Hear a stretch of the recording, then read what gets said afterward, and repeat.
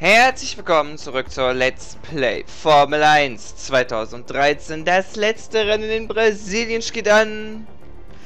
Und da haben wir so viele Themen, oder beziehungsweise wir haben so viele Themen durch das äh, Japan-Wochenende. Jetzt in der realen Formel 1, das am Wochenende war, ähm, mit diesem schweren Crash von Jules Bianchi. Und ähm, meine Genesungswünsche gehen damit mit diesem Video an Jules Bianchi. Ich hoffe, dass der wieder auf die Beine kommt. Ähm, aber weiteres dann, würde ich sagen, im trockenen Abschlussrennen. Viele haben sich gewünscht, dass ich jetzt auf manuell fahre, das allerletzte Rennen. Mm, aber da wir so viele Themen zu besprechen haben, das ist unglaublich. Wir können über Japan quatschen, das ganze Rennen. Wir können über so vieles reden und das, äh, das passt einfach. Deswegen bleibe ich nicht, deswegen bleibe ich bei Automatik. Weil sonst äh, habe ich das Gefühl, hier verkacke ich noch die Hälfte. Also, aber erstmal komplett trocken, überall Training, Qualifying und Rennen. Und die Themen im Rennen, die sind, ja, genug, um eigentlich die eineinhalb Stunden zu füllen. Die 71 Runden, die wir hier in Brasilien fahren. Das letzte Mal darf ich F1 2013 zocken. Nach äh, fünf Saisons mal wieder, nach zwei Koop-Saisons und noch nach mit vielen anderen Sachen machen wir noch mein letztes Ziel mit Forschung und Entwicklung, auch wenn es jetzt natürlich nicht mehr ganz so viel bringt. Wir fahren hier nochmal mit Medium und der härtesten Mischung auf diese Strecke, auch wenn die Reifenbelastung hier eigentlich nicht so hoch ist. Ich nehme das Trocken-Setup hier und was haben wir denn? Wäre ein schönes Ziel. Wir haben ein Ziel äh, unterbiete während drei Runden die vorgegeben ist, ohne DRS zu nutzen und verwende nur das fette Benzingemisch. Dieser gesamt 1,18, 1,81. Erhöht den Abtrieb insgesamt um 10%. Das ist das Ziel. Vorneweg würde ich sagen, das Team Duell, das sieht eindeutig aus. Suti, der auch im Crash-Unfall äh, verwickelt war, hat die Szene von äh, Just Bianchi gesehen und äh, war da regelrecht schockiert. Wäre ich aber auch. So, wir bereiten uns jetzt aber erstmal auf das Qualifying vor. Ein letztes Mal in Brasilien. Und das Ganze noch einmal. Und ich bin dieses Auto jetzt erstmal nicht mehr gewohnt. Ich meine, dieses leichte Lenkrad nicht mehr aus mit Autosport. Das ist ja Formel 1 2000. Guten, guten Tag. Ja. Ja, gut. Ohne das DRS zu nutzen, hat er gesagt, ne? Ja, da war was, da war was. Ohne DRS zu nutzen. Dann machen wir das später noch einen Test. Machen wir einen längeren Trainingsfahrt dann hier raus. Können wir aber auf Standard fahren. Dann machen wir den Test halt auf weich nachher. Wir haben noch einen frischen Reifensatz mit weich, dann machen wir den nachher. Ja. F1 2014 kommt ja schon nächste Woche. Die ersten Gameplays-Videos habe ich mir auch angeguckt. Das wird auch ein großes Thema sein in F1 2013 im Rennen jetzt meine ich natürlich. Und darüber hinaus äh, die Diskussion, hat die FIA richtig gehandelt beim großen Preis von Japan oder nicht?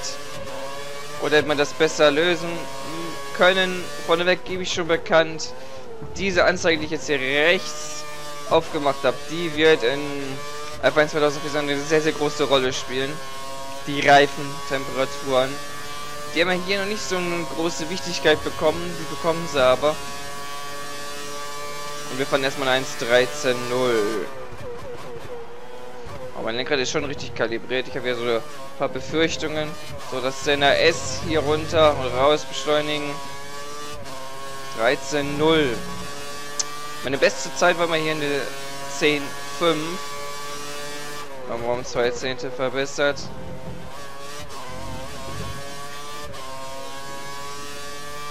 Und der Fahrweg Apfelfreund, der hat sich mal komplett umgeändert. Good Autosport kommt jetzt dann auch, wenn Formel 1 2014 gestartet ist. Also keine Sorge, keine Sorge. Das Projekt kommt ja bei euch genauso gut an. Auch wenn die Aufrufzahlen auch nur den von DTM Experience entsprechen, das reicht aber. Oh, das reicht mir persönlich. Aber ich habe jetzt auch ersten drei Parts hochgeladen und ich habe noch keinen nicht weiter aufgenommen. Das muss ich dann eigentlich auch noch machen. Ich nehme das Ganze hier nachts auf. Dienstagmorgen um kurz nach 1 ist es gerade. nehme ich jetzt nochmal das zum, zum letzten Mal wirklich äh, Formel 1 2013 auf. Eine Ära geht zu Ende. Nach nicht mal einem Jahr geht diese Ära wieder zu Ende. Schade. Aber ich freue mich so richtig auf F1 2014. Aber ich möchte das ja am besten noch mit dem Sieg abschließen. Und nochmal die Konstantas WM hier ein bisschen angreifen und mal für ein bisschen Tore sorgen. Und ich werde immer noch schneller. Was ist hier am Ende möglich? Eine 1.11 tief. Können wir die hier fahren? Ich hoffe schon. Den Kopf habe ich immer meine Probleme. Und F1 2014 könnte eine Herausforderung werden. Wenn die Temperaturen so das entsprechen, wie ich mir das vorstelle. Und die zweite große Änderung ist, äh, Dienstags ist unruhiger geworden. Definitiv. Als hier in F1 2013. Aber so jetzt allgemein vom Handling her wird es, glaube ich, nicht wirklich schwerer. Das ist, das sagt so mein Bauchgefühl. Kann natürlich auch komplett irren, aber eine große Änderung, glaube ich, wird das nicht. Die Reifen kühlen nämlich jetzt mehr ab. Da kommt eigentlich mein Fahrstil mit dem aggressiveren äh, Fahrstil halt eigentlich ein bisschen mehr entgegen. Und nicht mit so einem ruhigen Fahrstil, weil dann kommen die Reifen auch nicht auf Temperatur. Aber die kühlen wieder relativ schnell ab. Habe ich alles schon gesehen, von daher bin ich da guten Mutes dass es mit den Reif mit der Reifensimulation auch besser klappt. Also es, wird sich ein bisschen annähen an 2013. Jetzt so mein äh, meine Erfahrung, die ich jetzt so in ein paar Videos gesehen habe. Und es wird spannend, auch im Williams, um am Anfang in der Kopfsaison um Siege mitzufahren. Also das wird nicht ohne werden. Weil Williams ist stark, äh, Williams ist mit stark programmiert, habe ich das Gefühl, mit äh, Mercedes ganz klar, Mercedes und auch Red Bull. Also leichte Siege werden das auch nicht werden. Und nochmal zwei Zehntel schneller. Ja, gibt es mir ja. Was gebe ich mir denn hier für die Kugel, ey? Funktioniert der Wagen hier so gut. Dass wir nochmal auf Bestzeit fahren. Unter 1,12. Ja, 1,11,7. Über drei Sekunden schneller als ein gewisser Pastor Maldonado, der das Auto auf der Strecke gehalten hat in Japan, was mich sehr gewundert hat.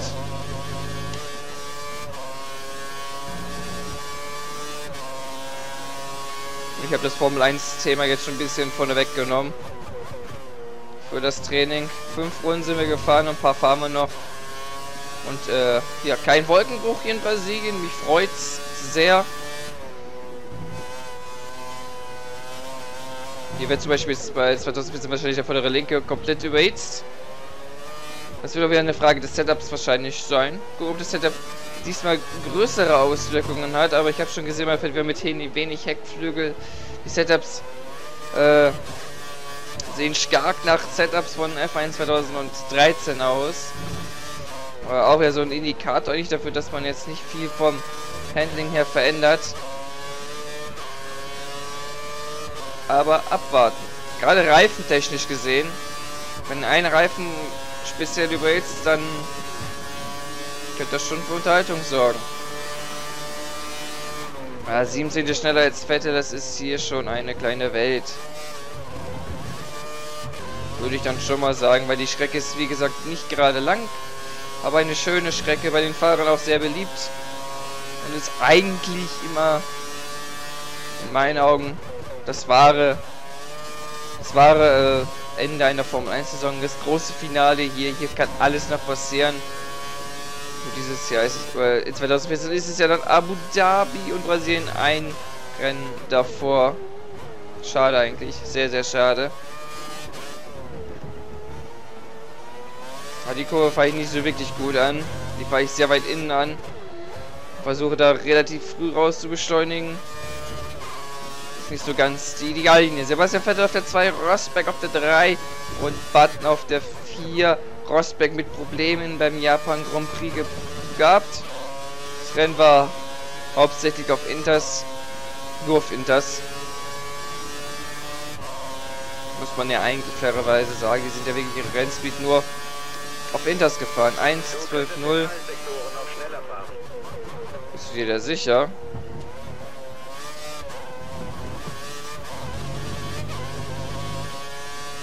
Also bis jetzt bin ich mit dieser 1.11.7 mehr als zufrieden. Hier ein Jahrzehnte hinten. Die Kurve hat auch faustig hinter den Ohren, gerade der Ausgang. Der Körper gibt mir mal gerne einen Schlag. Hülkenberg auf die 4. Ganz stark vom Sauber. Ob der auch nochmal was reißen kann hier, Hülkenberg.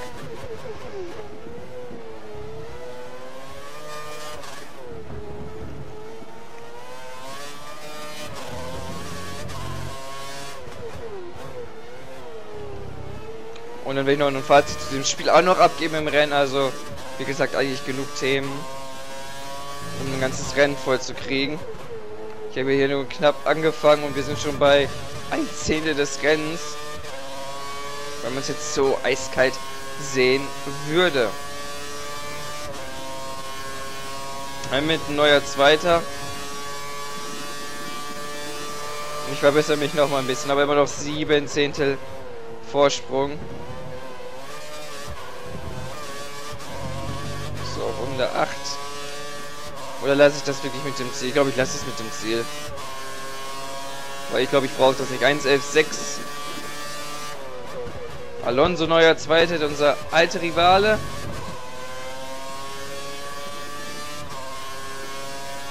Der da vorne wahrscheinlich gerade fährt.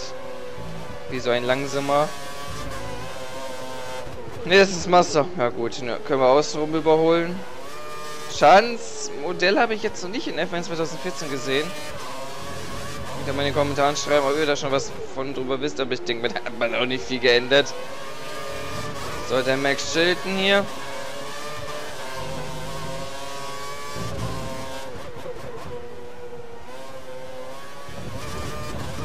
Auch wieder sehr weit raus. Aber es geht alles sehr gute Zeiten. 1.11 im Longmon. Hamilton 2. Alonso 3, Vettel 4. Wir fahren an die Box. Und ich würde sagen, das war schon das komplette Training. Das reicht mir definitiv. Um da wirklich sehr, sehr schnell zu sein. Pole Position haben wir eine Chance. Haben wir auf jeden Fall eine Chance. Und die versuche ich natürlich auch mir irgendwie zu ergattern. Jetzt muss ich mir kurz mal die ganzen Themen aufschreiben. Jetzt vergesse ich sie nachher eigentlich wieder, die ich jetzt wieder angesprochen habe. Also wir können nur gesamtes Japan-Rennen, dann noch ein Fazit für diesem Spiel. Japan-Rennen, Unfall Bianchi besonders. Und auch das komplette Rennen kann man eigentlich auch noch komplett analysieren. Dann haben wir die F1 2013 äh, Analyse, beziehungsweise meine Meinung zum Spiel, wie das Spiel allgemein war, auch wenn es relativ spät kommt. Und F1 2014 also genug Gesprächsthema, weil ja nicht alle von euch immer das ähm, Training mitschauen. Wir schauen kurz auf den Zeitenmonitor, ob jeder einzige mit einer 1.11.664. Theoretisch können wir eine 1.11.540 fahren, da hat mein Ranger doch recht gehabt. Gerade der zweite Sektor, da hole ich so ein paar Zehntel raus. 16. Vorsprung auf Lewis Hamilton, Alonso, Sebastian Vettel. Mal schauen, was am Ende hier wirklich möglich ist. Das Ziel haben wir jetzt nicht gemacht. Die Reifen haben 77% bei 9 gefahrenen Runden. Ja, 9, oder? Wenn er 8 steht, müssen wir 9 aufschreiben. Ja, 9. 9 gefahrenen Runden. Und äh, auf äh, ins Qualifying, indem wir den Motor nochmal wechseln, ja. Und zwar den fünften reintun. Weil der noch die richtige Leistung dafür. Platz 1, gut gemacht. Wir wissen nicht, wie viel Sprit die anderen an Bord hatten, aber das ist auf jeden Fall ein tolles Ergebnis. Jo, sehe ich genauso. Bianchi war auf der 21, nur mal als Randnotiz. So, auf ins Qualifying. Wir werden wahrscheinlich eine Zwei-Stück-Strategie fahren. Ne, wir fahren eine Drei-Stop-Strategie. Drei Stop. Wir fahren eine Drei-Stop-Strategie. Jetzt ist halt die Frage, wie, wie gehen wir es an? Rei, geben wir uns einen, wir können uns einen Datensatz eigentlich genehmigen, ja. In dieser Session musst du nicht alles geben. Wir sollten schnell genug sein. Sollen die Weichen denn halten? 30 Runden. 30 Runden? Obwohl, das waren jetzt nur 23 Prozent. Alten Jahr hatten 25 Runden, das reicht aber auch nicht, das reicht auch nicht. Wir müssen drei, wir müssen drei Stops fahren. Unser Teamkollege fährt raus, ich fahre auf Fahrt jetzt raus. Also wir werden zweimal weich fahren am Anfang des Rennens und dann zweimal hart zum Schluss. Ist jetzt so ein bisschen mein Plan. Ich schwimme ja grundsätzlich, oder ich bin immer gegen den Strom geschwommen hier. Schöne Boxenausfahrt. Spart man auch nochmal schön viel Zeit. Hier habe ich auch mal eine Strafe bekommen, weil ich ins Kies rausgefahren bin. Wahrscheinlich wegen sowas. Und dann es mich nicht, weil äh, USA war die letzte Erfahrung. So, unser Teampolitik ist das erste aus die Strecke raus, okay. Mal schauen, ob wir diese 1.11, das weiß jetzt 1.11.6 nochmal unterbieten können mit den harten Reifen. Wird ein bisschen schwer, aber machbar ist es auf jeden Fall. Und ich hoffe, dass ich so ein bisschen auch gegen den Strom schwimmen kann in F1 2014. Dass ich auch wie einen Stop mehr machen kann und unterm Strich doch der Schnellere bin. Jetzt gibt es dann natürlich auch einen neuen Schwierigkeitsgrad, hat man auch eingebaut. Den sehr einfachen, den ich natürlich nicht anrühren würde. Aber wir fahren eh auf Legende. Wenn das Spiel das jetzt nicht so will, dann, dann stimmt was mit dem Spiel nicht. Weil man macht das ja am Anfang. Der Young Drivers Test ist komplett rausgefallen. Und eine Abstimmung, mit welchem Team ich starten soll, äh, gibt es dann auch noch.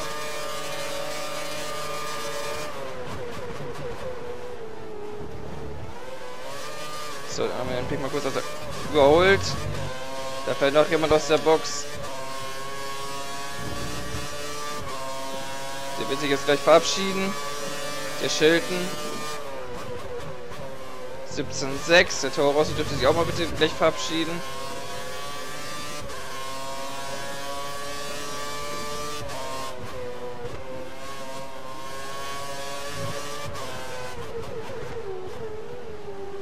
Och, Guido, jetzt gehst du mir aber gut im Weg.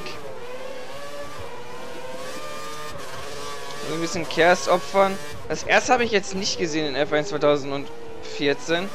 Es wird noch eingebaut oder das das gibt es einfach nicht. Also ich habe es jetzt nicht gesehen.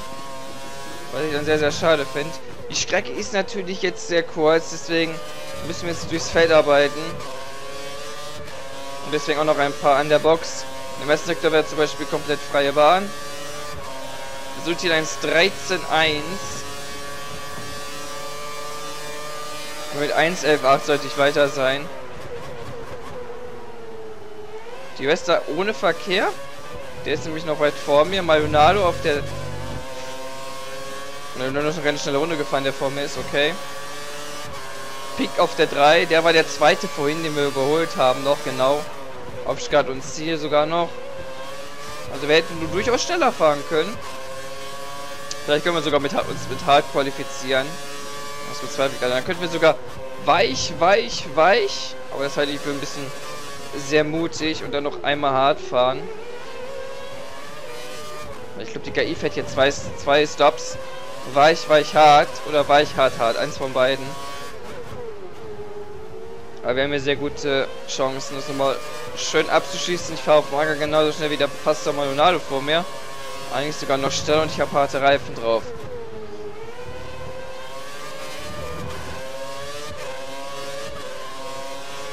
Das mit, ja, das mit komme ich noch hin, hinterher, ja.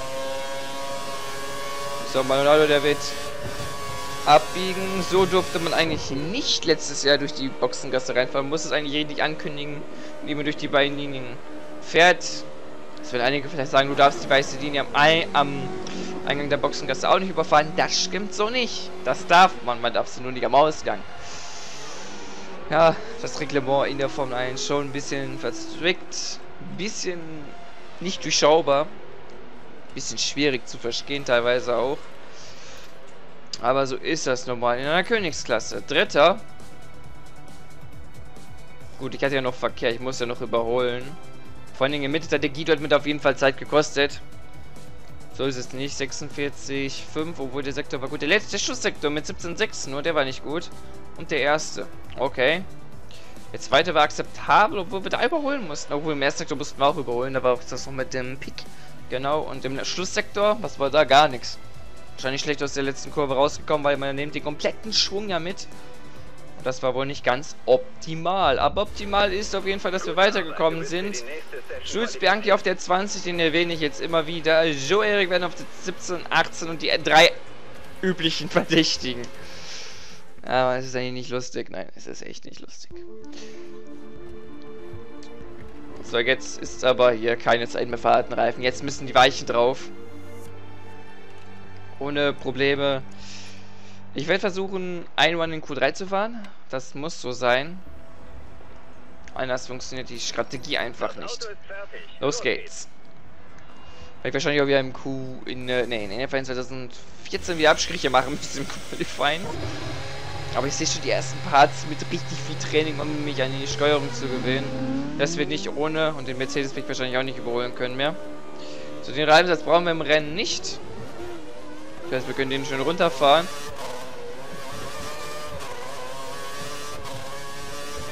So, ich soll erstmal in Q3 kommen. Was unser Ziel im Qualifying ist, habe ich jetzt leider nicht gesehen. Zwei DS-Zonen hier auf Skat und Ziel ganz am Ende und hier auf der ganz kurzen kleinen Gegengerade. Ja, ist zwar nicht wirklich eine Gegengerade, ist ja keine Gerade, aber man kann es als Gegengerade ruhig bezeichnen. Und zwar Ende der erster Sektor. Kommen wir wirklich in diesen Schneckenteil. Zweiter Sektor. Eine einfache Fahrerstrecke, aber in der man auch noch viel federn lassen kann. Die Strecke hat Tradition. Definitiv. Und deswegen, ich sie auch gerne. 71 Runden werden uns jetzt nicht so Ewigkeiten vorkommen werden. Weil in Monaco fährt man ja 78 Runden. Da habe ich jetzt schon Schwung liegen lassen. 70% benutzt man hier hoch das Bergstück wenn die 30 anderen Prozent auf der ersten langen Geraden kommen, auf der Gegengeraden von Kers.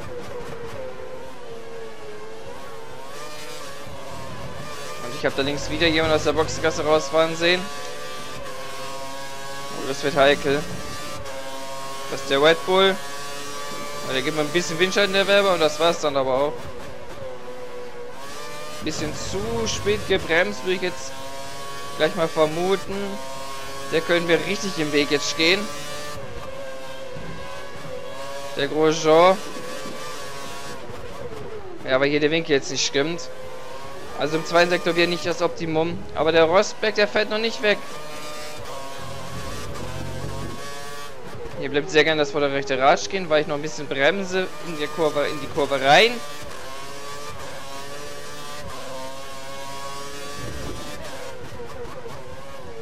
Jetzt fehlt uns hier ein bisschen Motorpower vielleicht hoch. Das könnte dieser eine Zehnte sein.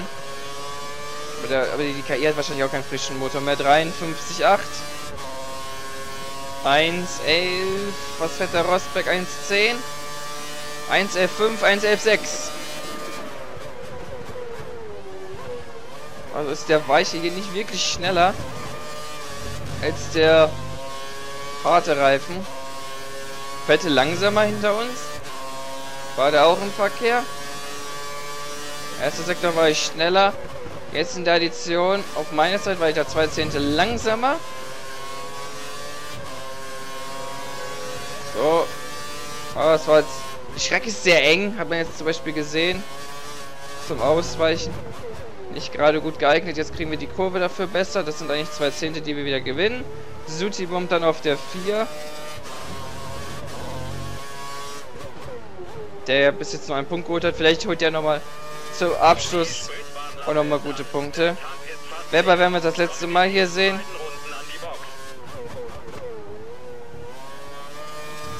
Bisschen schneller Hamilton auf der 1 jetzt. 1, 11, 3 sind 3 Zehntel. Aber ich breche die Runde ab. Die paar Tausendstel, die ich da im zweiten Sektor schneller war, beende ich. Also eine 1.11.4 ist auf jeden Fall möglich. Und diese 1.11.3 sollte auch möglich sein. Wir sind nun nur noch Vierter, aber wir sind vor Raikön. Der Indikator eigentlich immer um ins äh, Q3 zu kommen. Das wird sich in komplett F1 2014 ändern. Also wirklich komplett. Aber wie gesagt, ich freue mich drauf. Also wie ich mich noch auf das Rennen freue, auf das richtige Abschlussrennen kann man ja sagen. Das letzte Qualifying auch. Da habe ich nochmal knapp durchgereicht. Hier 8, 1, 10, 6. Also eine Hausnummer jetzt, was die auf einmal hier fahren. Aber ich komme mich jetzt in Sachen Training nicht und überhaupt nicht steigern. Muss ich aber auch noch dazu sagen. Na, 13. nur bin ich draußen.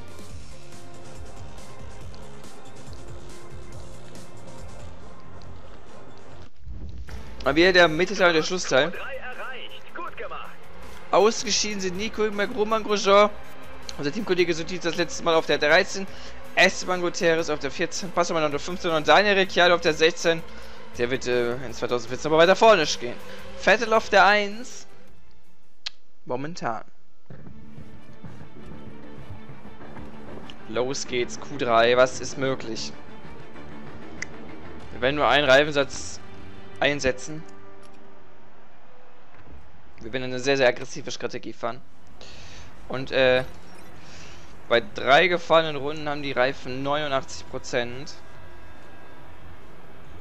Was sind 10%? Sprich, man könnte schon 30 Runden mit denen fahren. Das stimmt dann ungefähr doch schon. Ich sage mal, ein Drittel gehen nicht mit den Reifen. Das wird sie dann auch einfach rechnen. Das sind dann 20 Runden maximal die wir auf den Weichen fahren können. Aber wir werden wahrscheinlich nur 15 oder 16 damit fahren. So, sind sie alle draußen? Ah, wir müssen sehr, sehr, sehr früh rausfahren. So, weil ähm, sonst haben wir ein Problem, dann kommt der erste schon wieder von hinten. Moment ist auf der Strecke nicht viel los. Fahr raus, solange es so ruhig ist. Also jetzt.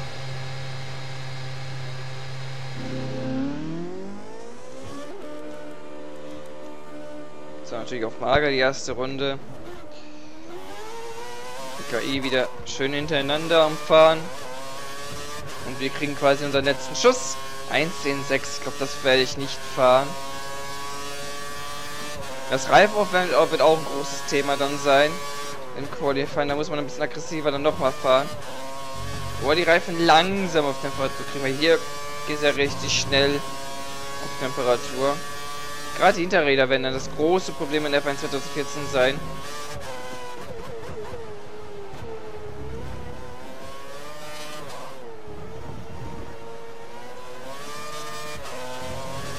So, fünfter der besser sollen wir werden. Okay. Das ist eine Hausnummer. Die nicht so ganz einfach ist.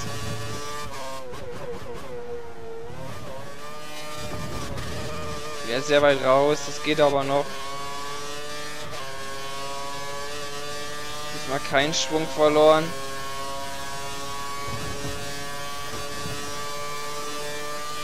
So, los geht's.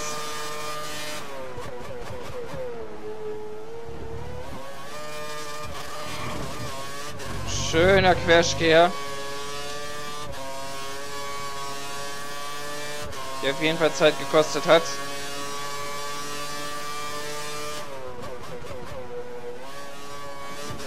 Ja, aber ein bisschen zu spät gebremst. Leon, du bist jetzt überhaupt nicht perfekt.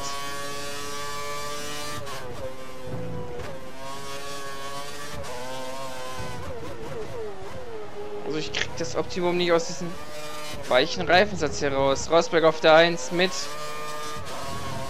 Hamilton jetzt erster. Mercedes Doppelpol. Perez auf der 3. 1, 11, 3 wieder mal nur.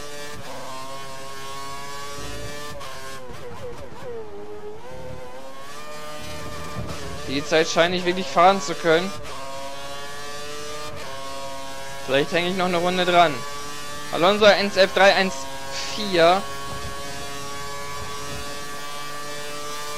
Kürzester Weg, zweiter. Im Moment bist du zweiter.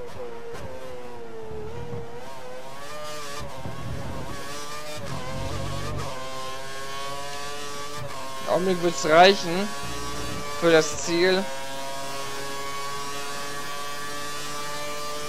Auf die Tausendstel genau.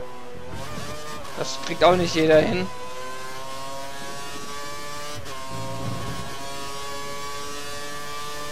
Hier können wir uns ruhig erlauben, zwei Runden zu fahren. Zweite ist meistens immer die schnellere. Sehr enge Linie hier, besser.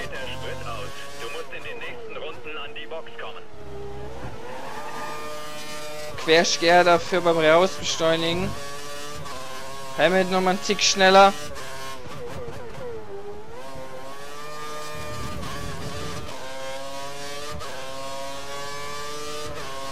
Nur noch Vierter.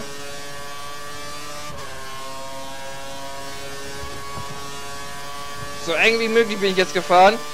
Erster. Oh, Sechstausendstel. 1, 11, 2, 0, 7 gegen Alonso 1, 11, 2, 1, 3. Was für ein Finale hier im Qualifying. Boah, Sechstausendstel. Da reden wir von Zentimetern. 1, 11, 2. Jeder hat aber zwei Runden gedreht. Huh. Und da kommt nochmal Hamilton und dann Vettel in der dritten Runde oder von Rosberg. Aber 6000 das ist schon echt, das sieht keiner mehr mit dem Auge. Das sieht man muss ein Adlerauge für haben. Aber zum Glück wird so, sowas alles nur noch gemessen. 1, 11, 207.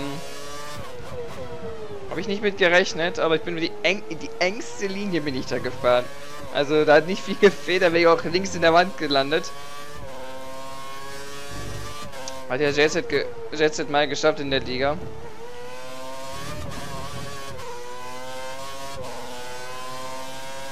Jetzt schalte ich selber, damit mir der Sprit reicht. Alle in der Box. Alle in der Box. 1.11.207. Wenn ich jetzt natürlich vorsimuliere, da fahren sie 1.10.6 definitiv. Das weiß ich jetzt schon. Dann werden sie noch einen raushauen. Dann werden sie nochmal 6 Zehntel finden. Die werde ich definitiv nicht mehr finden. 1.10.6 ist schon stark. Ich bin damals eine 1.9 gefahren. Eine 1.95. Stimmt. Das sind zwei Sekunden. Die davor sind ja dann langsamer ist. Sechstausendstel vor Alonso. Sechstausendstel vor Alonso, 46 vor. Der eine, eine Zehnte trennen die ersten vier. So, kommt, haut einen raus. Danke. 1, 10, 7. Ja, das ist Sechster am Ende. Knapp hinter den Erwartungen. Du stehst morgen auf Platz 6. Aber ich würde sagen, da ist noch was möglich. Es ist keine halbe Sekunde. Und, äh, ja, wenn wir einen Stop mehr machen, müssen wir auch die Zeit irgendwo finden. Also Sebastian Vettel auf der Pole Position von Nico Rosberg und Fernando Alonso. Lewis Hamilton auf der 4 und Mark Webber auf der 5. Die sind dann nochmal alle schneller gefahren, wo ich die Zeit vorsimuliert habe. Ich am Ende auf der 6 aus 17. Vorsprung wurden wir 15. Rückstand, wie immer eigentlich. Na gut, 1.11.2 im Vergleich zu 1.11.8 im Training ist keine Steigerung, ne? Da bin ich ja quasi schon am Limit gefahren. Kimi Räikkönen auf der 7, Massa auf der 8 und beide McLaren Mercedes auf 9 und 10 Button, aber diesmal vor Perez. Ein Part von Formel 1 2013 erwartet euch noch, der kommt am Freitag. Weil der fünfte Beste haben wir verfehlt, schade, keine Pole Position, aber was soll's. Wir sehen uns zum Grande Finale von diesem schönen Let's Play beim nächsten Mal und ich sage ciao ciao.